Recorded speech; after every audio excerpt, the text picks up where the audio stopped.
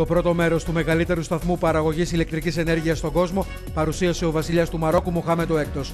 Ο Νουρένα, όπως ονομάζεται, βρίσκεται στην πόλη Ουαρζαζάτε στην έρημο Σαχάρα και κοστίζει 3,9 δισεκατομμύρια δολάρια. Εκτιμάται ότι θα παρέχει ηλεκτρικό ρεύμα σε 1.200.000 Μαροκινούς.